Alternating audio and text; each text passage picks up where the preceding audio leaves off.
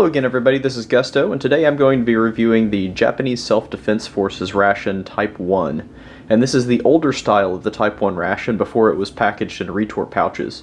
And several months ago I reviewed some Type 2 JSDF rations, so check those out. These are a little bit different because they're obviously packaged in cans, and some of the items inside them are different. The biggest difference that I can see is that the rice is packaged with the meat item inside the cans rather than separately. This ration was sent to me by MRE Mountain eBay store. He has recently become a very good source of more unusual rations, so if you're interested in finding some of these items, check out the link in the description below for that eBay store. So thank you to MRE Mountain. The items that were sent to me for this review are a complete set of the menu number 7 and then some other canned items that belong to other menus. So I will be reviewing the menu number 7 and then I added an additional side because I had it. But there's very little information available on the JSDF Type 1. This is an older ration and is becoming exceedingly rare. So I'm quite excited about getting into this. For the commenters, if you can provide me any background information on these rations, please do. I would welcome it very much. For the menu number 7 items, the largest can is listed as chicken and boiled rice, and then it has two smaller cans consisting of the bottom one, which is trout and vegetables, and the top one, which is yellow pickled radish. The additional item here I chose to keep in this review because it includes the can opener attached to the rim of the can there, and because it's a can of wieners. So go ahead and go nuts in the comments. The very limited information that I could find on the internet about this ration, and it is very sparse. There were some basic instructions on how to prepare these and specifically how long to boil the items, especially if they contained rice, and that was about 25 minutes in boiling water. So we'll get to that.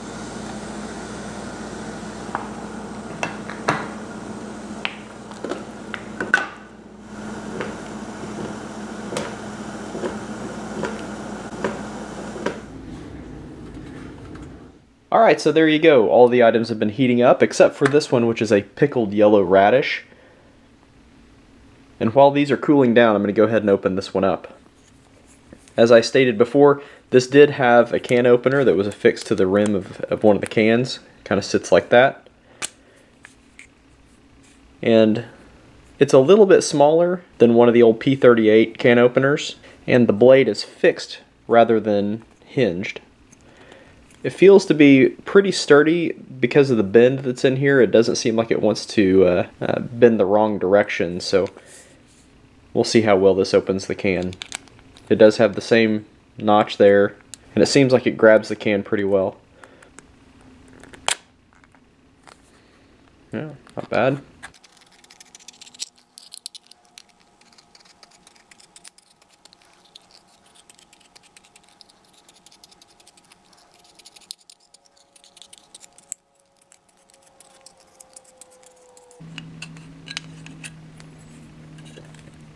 All right.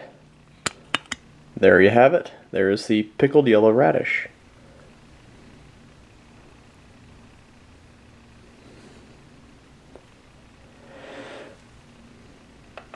And it does have a very strong vinegar smell. And I dumped out some of the liquid so you could see a little bit closer without me spilling this all over the place.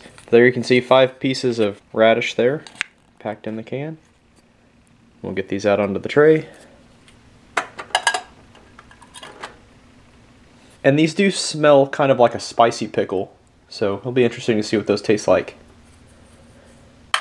Next I'll open the main item, and this one is uh, chicken boiled rice. There are the codes on the top of the can. I do not know what these stand for. I'm guessing that these are early 2000s issue, but I am not sure of that. So if anybody knows how to interpret those date codes, I'd appreciate that. So again, boiled chicken and rice. And the can's very hot, so I'm going to hang on to it with this towel. Try not to burn myself.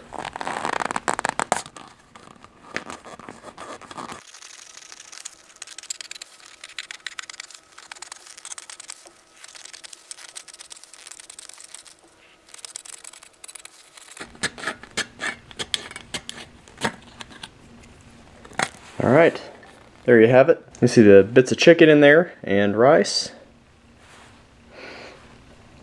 Does have kind of a salty, savory scent to it. I'll go ahead and get that onto the tray.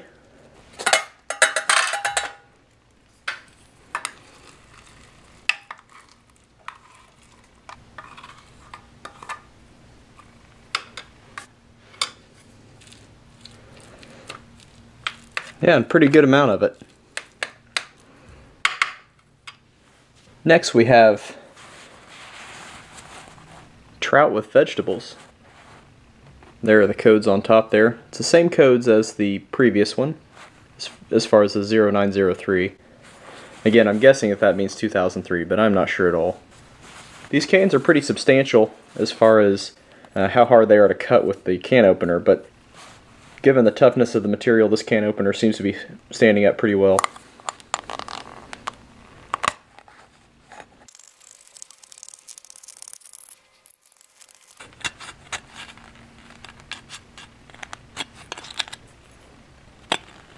Ah, there you go. There's a good sized chunk of fish in there. Some carrots, looks like um, ginger here, and maybe mushrooms or something like that. Not sure what that vegetable is. So there you go. I'm just going to set this aside. And lastly, there is a can of wieners or Vienna sausages. Here's the codes on that one. It's a little harder to see. 1403 is what I see there. Alright.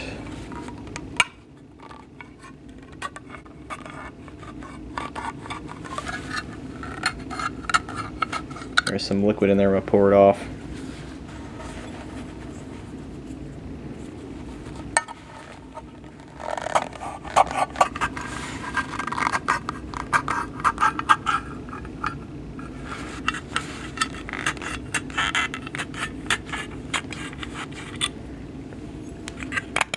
And there you go.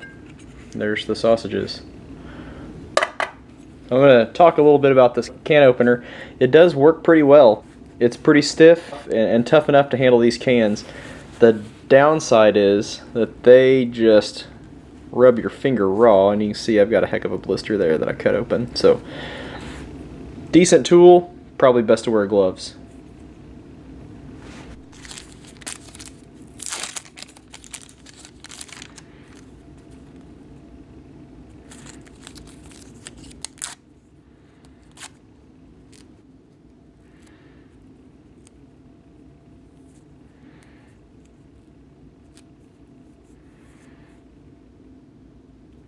So let's get some of these out.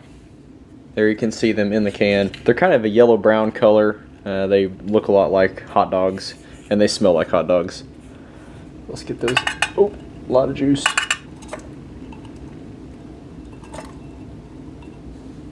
There you have it. Okay, so let's try this stuff out. First off is the main item, which is the chicken and rice. And that's really all there is in there. Just chicken and rice, maybe maybe some seasoning. There you can see the detail up close. The rice is pretty sticky. The pieces of chicken are pretty uniform in size. All kind of like little cubes there. It does have kind of a salty scent to it. Smells pretty good. Yeah, that's not bad at all.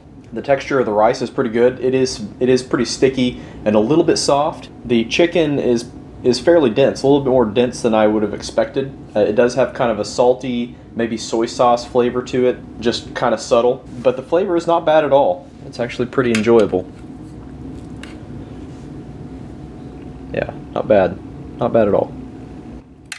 Next we'll move on to the trout with vegetables. And you can see there's a pretty big chunk of fish there. There looks like some uh, ginger, looks like mushrooms maybe, I'm not really sure. And then there's also some carrots try to get a little bit of everything.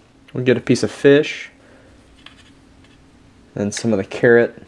And this vegetable that I really don't know what it is, it's green, but there's no uh, list of ingredients on the can, so I'm not exactly sure what that is. Get a little bit of this ginger too. So there you go, a little bit of everything. The fish looks a little bit dry there.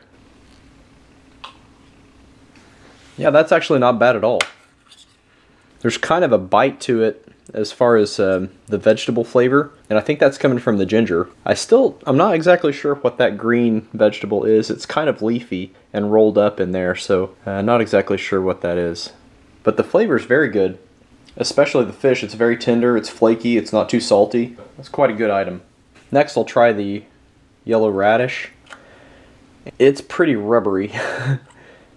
it's uh, actually you can't you can't cut it. It just kind of squashes together. It just kind of looks like a pickle. You can see there's some pepper flakes in there, so this may actually be kind of a spicy pickle.